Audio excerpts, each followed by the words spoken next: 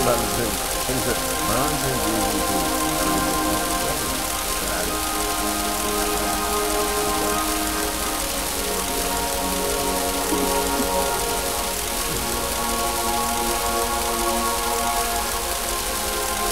We were talking about things that